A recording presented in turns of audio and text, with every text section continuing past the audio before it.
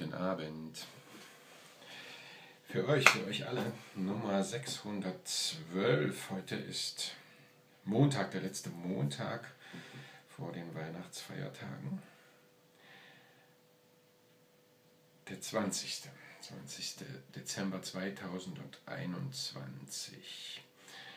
Und der Wilhelm Müller in seiner Winterreise noch drei Gedichte mit dem heute hat wieder überhaupt keine Hoffnung.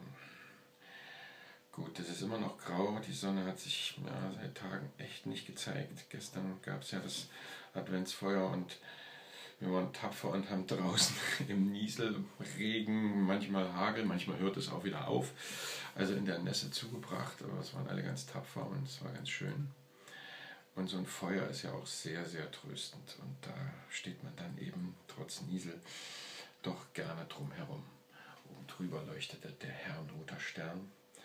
Also alles war gut.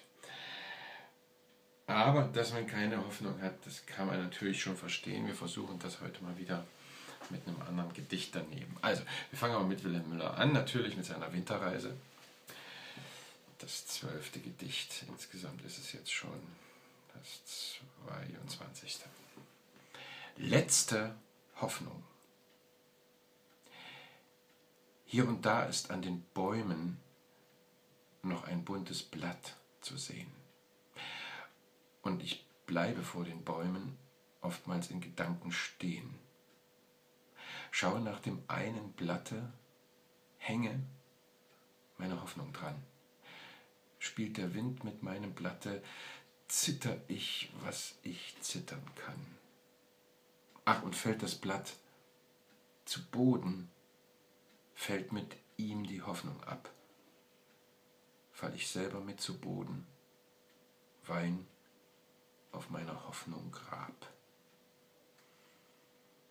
Naja, so kann man das schon sehen. So kann man das schon sehen. Muss man aber nicht.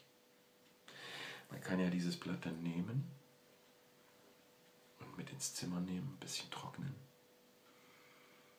noch eine Kumutsche drauflegen und einen Stein und daneben eine Kerze, dann sieht das schon wieder ganz anders aus. Die Sarah Kirsch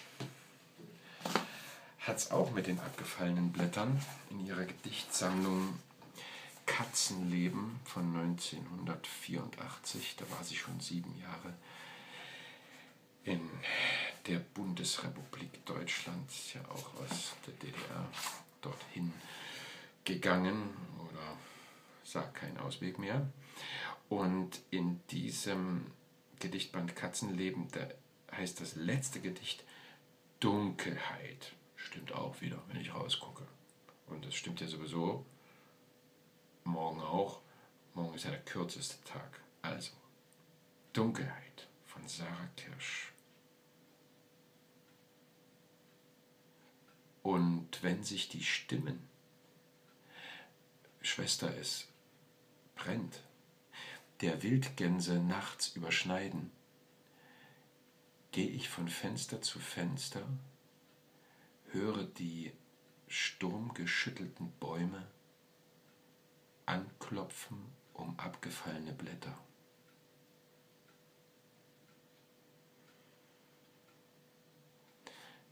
Da geht es einem wieder so gut nach so einem Gedicht.